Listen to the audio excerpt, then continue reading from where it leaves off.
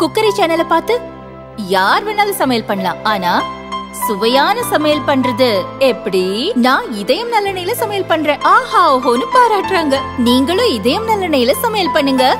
பாராட்ட வாங்குங்க. தினம் தோறும் வாங்குவே இதயம் இதயம். பிரதமர் மோடியின் மனதின் குரல் நிகழ்ச்சி இன்று பத்து ஆண்டுகளை நிறைவு செய்தது.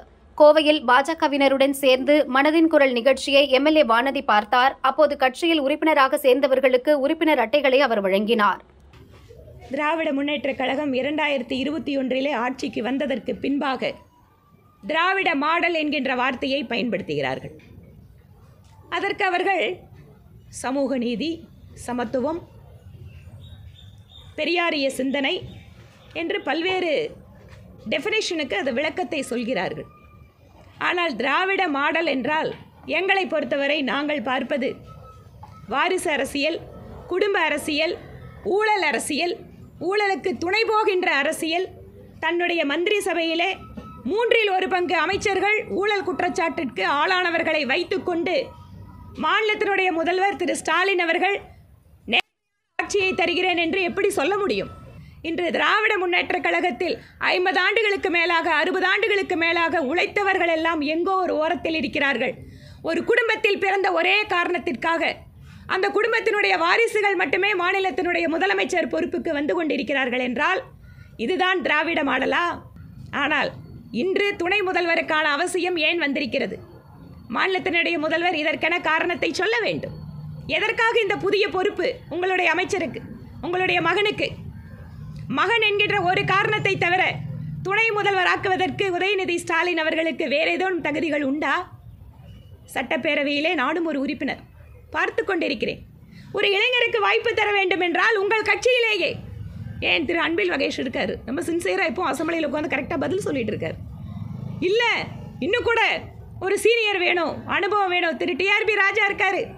அவர்களை எல்லாம் கூட உங்களால் துணை முதல்வர் ஆக்க முடியவில்லை. ஏன்? எல்லாவற்றிற்கும் மேலாக தமிழகத்திலே பட்டியலினத்தை சார்ந்த மக்கள் இத்தனை கோடி மக்கள் இருக்கிறார்களே. உங்களுடைய திராவிட மாடல் ஆட்சியிலே ஒரு பட்டியலினத்தை சார்ந்தவருக்கு துணை முதல்வர் பதவியை கொடுக்க மறுப்பது ஏன்? இதுதான் திராவிட மாடலா? பட்டியலினத்தை சார்ந்த அமைச்சர்கள் என்ன இலாக்காக்கள் அவர்களுக்கு கொடுக்கப்படுகிறது? இன்றைக்கு திருமதி கயல்வெளி அவர்களுக்கு மனித வளத்துறை ஒதுக்கப்பட்டிருக்கிறது. ஒரு பெண்மணி என்கின்ற முறையிலே அது முதல் முறை எம்எல்ஏவான அந்த பெண் அமைச்சருக்கு என்னுடைய வாழ்த்துக்களை தெரிவித்துக் கொள்கிறேன். ஆனால் மிக உயர்ந்த பொறுப்புகள் மிக முக்கியமான துறைகள் எல்லாம் ஏன் பட்டியலினத்தை சார்ந்தவர்களுக்கு ஒதுக்கப்படுவதில்லை? உங்களுடைய கூட்டணி கட்சியாக இருக்கின்ற எத்தனையோ கட்சிகள் இருக்கிறார்கள். தேர்தலிலே திராவிட முன்னேற்ற கழகத்தினுடைய கூட்டணியில் இருக்கின்ற அந்த கட்சிகளுக்கு அதிகாரத்தில் பங்கு இல்லையா பாரதிய ஜனதா கட்சி அரசாங்கம். இரண்டாயிரத்தி பத்தொன்பதிலே ஆட்சிக்கு வந்தபோது எங்களுக்கு தனிப்பெரும்பான்மை இருந்தது. ஆனாலும் கூட எங்கள் கூட்டணி கட்சியில் இருக்கக்கூடிய கட்சியினுடைய தலைவர்களை எல்லாம் மத்திய அமைச்சரவையிலே இடம் கொடுத்து இது அனைவருக்குமான அரசாங்கம் என்று காட்டினார் பிரதமர் மோடி அவர்கள்.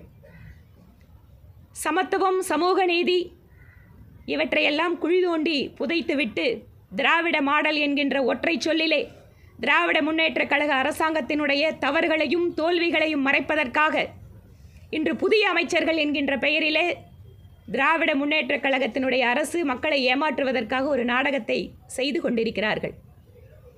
இந்த தமிழகத்து மக்கள் வரக்கூடிய காலத்தில் திராவிட மாடல் அரசுக்கு எதிராக தங்களுடைய எண்ணத்தை செயல்பாடுகளை வலுவாக்குவதற்கு பாரதிய ஜனதா கட்சி தொடர்ச்சியாக இதை பற்றியெல்லாம் பிரச்சாரம் மேற்கொள்வோம். திரு மா சுப்பிரமணியம் அவர்கள் சொல்கிறாரே வாரிசு இல்லாதவர்கள் வாரிசு அரசியலை பற்றி பேசுகிறார்கள் என்று.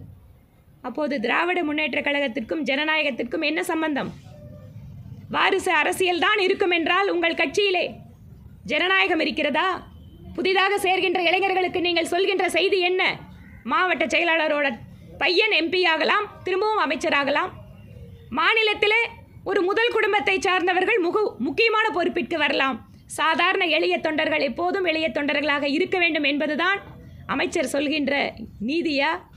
சிறையிலே இருந்த ஒருவர் நிபந்தனை ஜாமீனில் வெளிவந்திருக்கிறார்.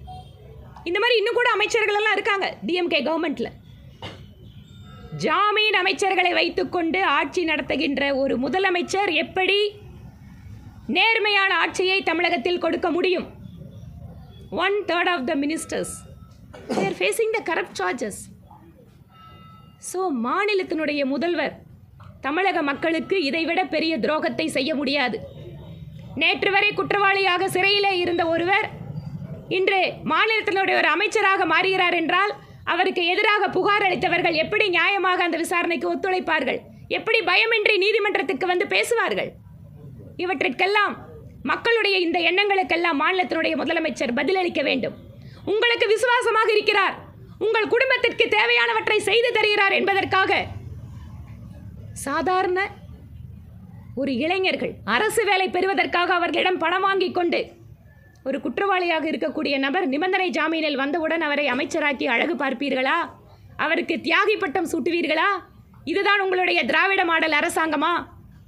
எங்களுடைய இந்த கேள்விகளை எல்லாம் மக்கள் முன்பாக நாங்கள் எடுத்துச் செல்வோம்.